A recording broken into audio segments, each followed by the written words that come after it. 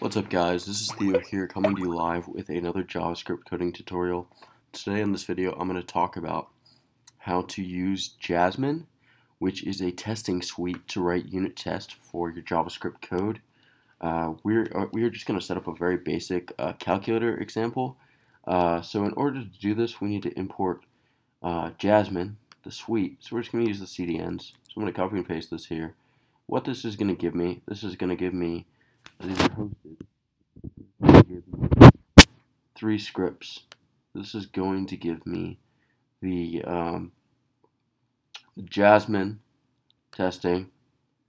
Um, it looks like Jasmine HTML, which is going to render this. Give me the options and uh, this boot. Not sure what that exactly does. I think I'm going to take that out. Yeah, I think it needs all three to work. But, um, so the way we're going to do this, we're going to create a calculator in here and we're going to say var calculator is equal to a function. And on this calculator we're going to have some methods. So this is the revealing module pattern where we sort of have everything exposed as a public API so you could sort of interface with it and see what it does. So we're just going to have four functions. We're going to have add. It's going to be a function which takes in a and b. This returns a and b. Very simple guys. Not complex. Subtract it's going to be a function takes in A and B. Just gonna back up real quick. Just gonna return A minus B. Um, we're gonna have uh, multiply. It's a function which takes in A and B. It's just gonna return A times B. And we're gonna have finally our last uh, function is going to be uh, divide. The function takes in A and B. And this is going to return A divided by b. Sorry about that. And so not saying no spec found, no, no specs found, which just means we haven't created any tests. So when we're using Jasmine, we're going to create um, what's called a describe block. And I really haven't done too much unit testing, but it's really easy to pick up. So first thing we'll do is say describe, and what we want to call it. So we're going to call it calculator suite so the first parameter is the name of your suite that you're going to test. You're going to run your unit test in. And the second parameter is a callback function. So it's just going to be a function. And then inside of here, we're going to write our test. So we see we have our calculator suite right here. It's not doing anything, obviously.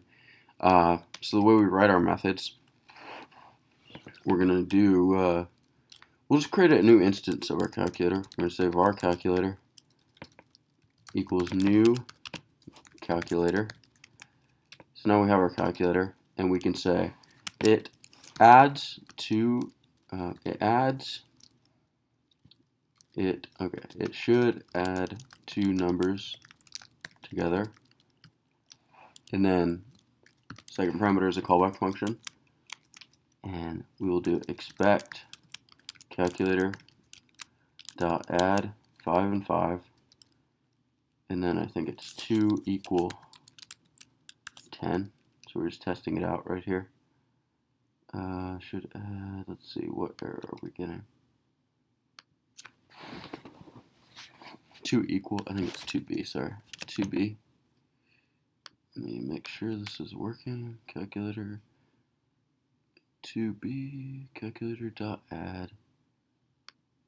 Uh, 2, let me look it up really quickly.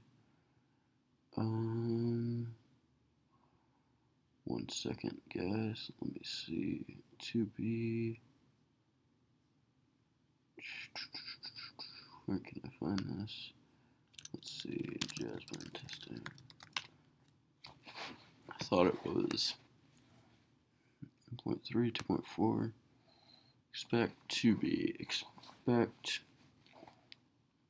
to be. I think it's, I thought it was toBe. Oh, toEqual. Or A, expect A to equal, let me see. So what do we have? We have expect calculator add. We need another one here? Unexpected token. we'll say, okay, cool. I guess it, our test pass right there. So let's change this to 12. Fails. Expected 10 to be 12. So that's the way you do it, guys. You, you can we could make a new instance of our calculator.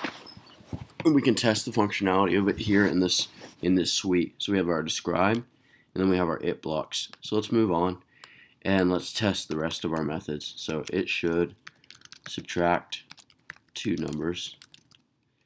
Function, this is our callback, should say expect calculator dot subtract uh, 10 and 5 dot toBe toBe so if we put 6 here and we run it we should say expected 5 to be 6 so we change this to 5 our test passes. So let's implement the rest of our logic. So now we have multiply.